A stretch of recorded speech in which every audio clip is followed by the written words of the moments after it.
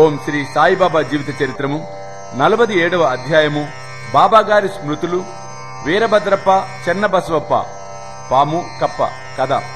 గత అధ్యాయములో రెండు మేకల పూర్వ వృత్తాంతమును బాబా వర్ణించెను. ఈ అధ్యాయమును కూడా అట్టి పూర్వ వృత్తాంతములను వర్ణించుచు వీరభద్రప్ప యొక్కయు చెన్నబసవప్ప యొక్కయు కథలను చెప్పుదును. తొలి పలుకు శ్రీ సాయి ముఖము పావనమైనది. ఒక్కసారి వారి వైపు దృష్టి నిగడించినచో గత ఎన్నో జన్మల విచారమును నశింపజేసి ఎంతో పుణ్యము ప్రాప్తింపచేయునటులా చేయును. వారి దయా దృష్టి మనపై పడినచో మన కర్మబంధములు వెంటనే విడిపోయి మనము ఆనందమును పొందెదము. గంగా నదిలో స్నానము చేయువారి పాపములన్నీ తొలగును. అట్టి పావనమైన నది కూడా యోగులు ఎప్పుడు వచ్చి తనలో మునిగి తనలో ప్రోగైన పాపములన్నిటినీ వారి పాద ధూళిచే పోగొట్టెదరా అని ఆతురతతో చూచును. యోగుల పవిత్ర పాదధూలి చేతనే పాపమంతయు కడుగుకొని పోవునని గంగామాతకు తెలియను. యోగులలో ముఖ్య అలంకారము శ్రీ సాయి. పావనము చేయి. ఈ క్రింది కథ వారి నుండి వినుడు. సర్పము కప్ప. సాయిబాబా ఒకనాడు ఇట్లు చెప్పసాగాను. ఒకనాడు ఉదయము ఉపహారము ముగించిన తరువాత వ్యాహ్యాలికి పోయి ఒక చిన్న నది ఒడ్డున చేరితిని. అలసిపోవుటచే అతట విశ్రాంతి నొందితిని. చేతులు కాళ్ళు కడుగుకొని స్నానం చేసి హాయిగా కూర్చుని ఉంటుంది అచ్చట చెట్ల నీడలున్న కాలిత్రోవ బండిత్రోవలు రెండు కలవు. చల్లని గాలి మెల్లగా వీచుచుండెను. చిలుమును త్రాగుటకు తయారు చేయుచుండగా కప్ప ఒకటి బెకబెకలాడుట వింటిని. చెకుముకురాయి కొట్టి నిప్పు తీయుచుండగా ఒక ప్రయాణికుడు వచ్చి నా పక్కన కూర్చుండెను. నాకు నమస్కరించి తన ఇంటికి భోజనమునకు రమ్మని వినయముతో ఆహ్వానించాను. అతడు చిలుము వెలిగించి నాకు అందజేశాను కప్ప బెకబెకమనుట తిరిగి వినిపించెను. అతడు అది ఏమియో తెలుసుకొన కోరెను. ఒక కప్ప తన పూర్వజన్మ పాప ఫలమును అనుభవించుచున్నదని చెప్పి తిని గత జన్మలో చేసిన దాని ఫలము ఈ జన్మలో అనుభవించి తీరవలేను. దానిని గూర్చి దుఃఖించినచో ప్రయోజనము లేదు. వాడు చిలుమును పీల్చి నాకందజేసి తానే స్వయముగా పోయి చూచెదనని చెప్పెను. ఒక కప్ప పాముచే పట్టుకొనబడి అరుచుచుండెననియు గత జన్మలో రెండూ దుర్మార్గులే గాన ఈ జన్మనందు గత జన్మ యొక్క పాపము ఈ శరీరముతో అనుభవించుచున్నవని చెప్పి తిని అతడు బయటికి పోయి ఒక నల్లని పెద్ద పాము ఒక కప్పను నోటితో పట్టుకుని ఉండుట చూచెను. అతడు నా వద్దకు వచ్చి పది పన్నెండు నిమిషములలో పాము కప్పను మృంగునని చెప్పెను. నేనిట్లంటిని లేదు లేదు అట్లు జరుగునేలా నేను దాని తండ్రిని. నేనిచ్చటనే ఉన్నాను. పాము చేత కప్పనెట్లు తినిపించదను. నేనిక్కడ ఊరకనే ఉన్నానా? దాని నెట్లు విడిపింతునో చూడుము. చిలుము పీల్చిన పిమ్మట మేము స్థలమునకు పోతిమి. అతడు భయపడెను. నన్ను కూడా దగ్గరికి పోవద్దని హెచ్చరించెను. పాము మీదబడి కరుచునని వాని భయము. అతని మాటలు లెక్కించకయే నేను ముందుకు పోయి తిని. ఓ వీరభద్రప్ప నీ శత్రువు బసవప్ప కప్ప జన్మమెత్తి పశ్చాత్తాప పడటలేదా? నీవు సర్పజన్మమెత్తినప్పటికీ వాని ఎందు శత్రుత్వము వహించి ఉన్నావా? ఛీ సిగ్గులేదా? మీ ద్వేషములను విడిచి శాంతింపుడు. ఆ మాటలు విని ఆ సర్పము కప్పను వెంటనే విడిచి నీటిలో మునిగి అదృశ్యమయ్యను. కప్ప కూడా గంతు వేసి చెట్ల పొదలలో దాగెను. బాటసారి ఆశ్చర్యపడెను. మీరన్న మాటలకు పాము కప్పనెట్లు వదిలి అదృశ్యమయ్యను. ఈ వీరభద్రప్ప ఎవరు? ఎవరు? వారి శత్రుత్వమునకు కారణమేమి? అని ప్రశ్నింపగా అతనితో కలిసి చెట్టు మొదటికి పోయితిని చిలుము కొన్ని పీల్పులు పీల్చి వృత్తాంతమంతయు ఈ రీతిగా బోధించి తిని మా ఊరికి నాలుగు ఐదు మైళ్ళ దూరమున ఒక పురాతన శివాలయము కలదు. అది పాతబడి శిథిలమయ్యను. ఆ గ్రామములోని ప్రజలు దానిని మరామత్తు చేయుటకై కొంత ధనమును ప్రోగు చేసిరి. కొంత పెద్ద మొత్తము ప్రోగైన పిమ్మట పూజ కొరకు తగిన ఏర్పాట్లు చేసిరి. మరామత్తు చేయుటకు అంచనా వేసిరి. ఊరిలోని ధనవంతుణ్ణి కోశాధికారిగా నియమించి సర్వము అతని చేతిలో పెట్టిరి. లెక్కలను చక్కగా వ్రాయు బాధ్యత వానిపై పెట్టిరి. వాడు పరమలోభి దేవాలయము బాగు చేయుటకు తక్కువ వ్యయము చేసెను. దేవాలయములో ఏమీ అభివృద్ధి కానరాలేదు.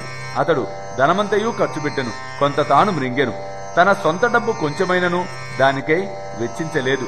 తీయని మాటలు చెప్పువాడు. అభివృద్ధి కాకుండాకేవో కారణములు చెప్పేడివాడు గ్రామస్తులు తిరిగి వాని వద్దకు పోయి అతడు సొంతముగా తగిన ధన సహాయము చేయని ఎడల మందిరము వృద్ధి కాదని చెప్పిరి.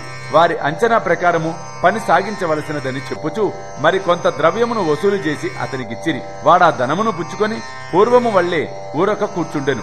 కొన్నాళ్ళ పిమ్మట మహదేవుడు వాని భార్యకు కలలో కనిపించి ఇట్లు చెప్పెను.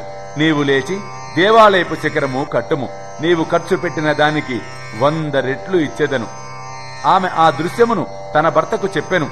అది ధనము వ్యయమగుటకు హేతువగునేమో అని భయపడి ఎగతాళి చేయుచు అది ఉత్త స్వప్నమనియు దానిని నమ్మనవసరం లేదనియు లేకున్నచో దేవుడు తనకు స్వప్నంలో కనబడి ఏల చెప్పలేదనియు తాను మాత్రము దగ్గర లేకుండానా అనియు ఇది దుస్వప్నము వలె కనిపించుచున్నదనియు భార్యాభర్తలకు విరోధము కల్పించినట్టులా తోచుచున్నదనియు అతడు సమాధానమిచ్చెను.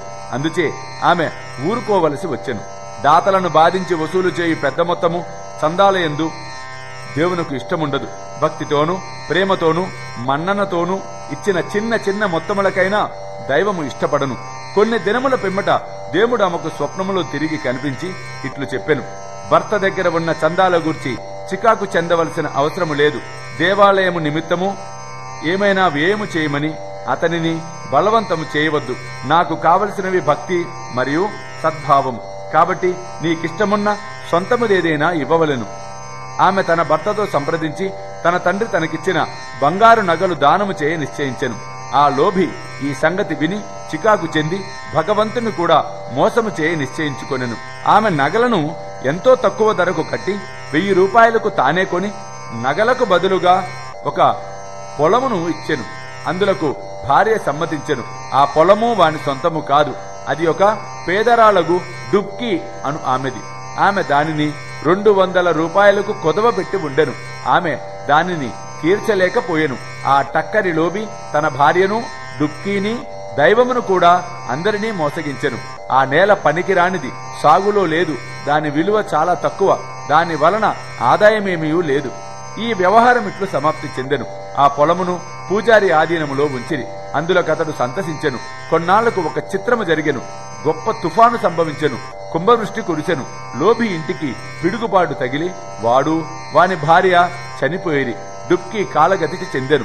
తర్వాతి జన్మలో ఆ లోబి మధురా పట్టణములో ఒక బ్రాహ్మణ కుటుంబములో పుట్టి వీరభద్రయ్యను పేర ఉండెను. అతని భార్య పూజారి కుమార్తెగా జన్మించెను. ఆమెకు గౌరీ అని పేరు పెట్టింది డుక్కి మందిరపు గొరవ ఇంటిలో మగ శిశువుగా జన్మించెను. అతనికి చెన్నబసవప్ప అని నామము పెట్టిది ఆ పూజారి నా స్నేహితుడు. అతడు నా వద్దకు తరచుగా వచ్చుచుండెను. నా వద్ద కూర్చుండి మాట్లాడుచూ చిలుము పిలిచెదివాడు అతని కుమార్తె గౌరీ కూడా నా భక్తురాలు. ఆమె త్వరగా ఎదుగుచుండెను. ఆమె తండ్రి వరుణుకై వెదుకుచుండెను. ఆ విషయమై చికాకు పడుచుండగా అవసరం లేదనియు. ఆమె భర్త తానే వెదుకుకొని వచ్చుననియు నేను చెప్పి తిని కొన్నాళ్ళకు వీరభద్రప అను ఒక బీద బ్రాహ్మణ బాలుడు భిక్షకై పూజారి ఇంటికి వచ్చెను. పూజారి నా సమ్మతి ప్రకారము వానికి గౌరీనిచ్చి పెండ్లి చేశను. అతడు కూడా నా భక్తుడు అయ్యెను. ఏలన వానికి పిల్లను కుదిర్చితినని నా ఎందు విశ్వాసము చూపుచుండెను. వాడు ఈ జన్మలో కూడా ధనమునకై మిగుల తాపత్రయము పడుచుండెను. నా వద్దకు వచ్చి అతడు కుటుంబముతో నుండుచే తనకెక్కువ ధనము వచ్చినట్లు చేయమని బ్రతిమిలాడుచుండెను. ఇట్లుండగా కొన్ని విచిత్రములు జరిగెను. ధరలు హఠాత్తుగా పెరిగెను. గౌరీ అదృష్టము కొలది పొలమునకు ధర పెరిగెను. కానుకగా ఇచ్చిన పొలము ఒక లక్ష రూపాయలకు అమ్మిరి. ఆమె ఆభరణముల విలువకు వంద రెట్లు వచ్చెను. అందులో సొగము నగదునిచ్చిరి. మిగతా దానిని ఇరవై ఐదు వాయిదాలలో ఒక్కొక్క వాయిదాకు రెండు వేల రూపాయల చొప్పున ఇచ్చుటకు నిశ్చయించిరి. అందుకు అందరూ సమ్మతించిరి. కాని ధనమునకై తగువులాడిరి. సలహా కొరకు నా వద్దకు వచ్చిరి. ఆ ఆస్తి మహదేవునిది కాబట్టి పూజారిది. పూజారికి కొడుకులు లేనందున సర్వహక్కులు గౌరీకి వచ్చెను. ఆమె సమ్మతి లేనిదే ఏమీ ఖర్చు చేయవద్దని చెప్పి తిని. ఆమె భర్తకు ఈ పైకముపై ఎట్టి అధికారము లేదని బోధించి తిని. ఇది విని వీరభద్రప్ప నాపై కోపగించుకొనెను. ఆస్తిపై గౌరీకే హక్కు కలదని తీర్మానించి దానిని కబలించుటకు నేను యత్నించుచున్నానని నుడివిను. అతని మాటలు విని భగవంతుణ్ణి ధ్యానించి ఊరుకొంటిని. వీరభద్రప్ప తన భార్య గౌరీని తిట్టెను. అందుచే ఆమె పగటిపూట నా వద్దకు వచ్చి ఇతరులు మాటలు పట్టించుకోవలదని తనను కూతురుగా చూచుకొనవలను అని వేడుకొనెను. ఆమె నా ఆశ్రయమును కోరుటచే నేనామెను రక్షించుటకు సప్త సముద్రములైన దాటుతునని వాగ్దానమిచ్చి తిని ఆనాడు రాత్రి గౌరీకి ఒక స్వప్న దృశ్యము కనపడెను. మహదేవుడు స్వప్నములో కనిపించి ఇట్లు అనెను ధనమంతయు నీదే ఎవరికి ఏమియును ఇవ్వవలదు. చెన్న బసవప్పతో సలహా చేసి దేవాలయపు మరామత్తు నిమిత్తము కొంత ఖర్చు చేయము. ఇతరములకై ఏము చేయవలసి వచ్చినప్పుడు మసీదులో ఉన్న బాబా సలహా తీసుకొమ్ము గౌరీ నాకీ వృత్తాంతమంతయు తెలిపెను. నేను తగిన సలహాను ఇచ్చి తిని అసలును తీసుకొని వడ్డీలో సొగము మాత్రము చెన్నబసవప్పకు ఇవ్వమనియు వీరభద్రపుకి ఇందులో జోక్యము లేదనియు నేను గౌరీకి సలహానిచ్చి తిని నేనిట్లు మాట్లాడుచుండగా వీరభద్రప్ప చెన్నబసవప్ప కొట్లాడుచు నా వద్దకు వచ్చిరి. సాధ్యమైనంత వరకు వారికి సమాధానము ఇచ్చి సమాధాన పరిస్థితిని గౌరీకి మహదేవుడు చూపిన స్వప్న దృశ్యమును చెప్పి తిని వీరభద్రప్ప మిగుల కోపగించి చెన్న బసవప్పను ముక్కలు ముక్కలుగా నరికెదనని బెదిరించెను. చెన్న బసవప్ప పిరికివాడు. వాడు నా పాదములు బట్టి నన్నే ఆశ్రయించెను. వాని కోపిష్టి శత్రువు బారి నుండి కాపాడదను అని నేను వానికి వాగ్దానము చేసి తిని కొంతకాలంనకు వీరభద్రప్ప చనిపోయి పాముగా జన్మించెను. చెన్న బసవప్ప కూడా చనిపోయి కప్పగా జన్మించెను. చెన్న బసవప్ప బెక లాడుట విని నేను చేసిన వాగ్దానమును జ్ఞప్తికి తెచ్చుకొని ఇక్కడకు వచ్చి వానిని రక్షించి నా మాటను పాలించుకొంటిని. భగవంతుడు ఆపద సమయములందు భక్తులను రక్షించుటకై వారి వద్దకు పరిగెత్తును. భగవంతుడు నన్నిచ్చటకు పంపి చెన్న బసవప్పను రక్షించెను. ఇదంతయు భగవంతుని లీల. నీతి. ఈ కథ వల్ల మనము నేర్చుకొనిన నీతి ఏమనా? ఎవరు చేసిన దానిని వారే అనుభవించవలెను. ఇతరులతో గల సంబంధములన్నిటినీ బాధను కూడా అనుభవించవలెను. తప్పించుకొను సాధనము లేదు. తనకెవరితోనైనా శత్రుత్వము ఉన్న ఎడల దాని నుండి విముక్తి పొందవలెను. ఎవరికైనా ఏమైనా బాకీ ఉన్నా దానిని తీర్చివేయవలెను. రుణము గాని శత్రుశేషము గాని ఉన్నచో దానికి తగిన బాధ పడవలెను. ధనమునందు పేరాస గలవానిది హీనస్థితికి తెచ్చును. తుట్ట తుదకు వానిని నాశనము చేయును. ఓం నమో శ్రీ సాయినాథాయ. శాంతి శాంతి శాంతి. నలభై ఏడవ అధ్యాయము సంపూర్ణము. సర్వం శ్రీ సాయినాథార్పణమస్తు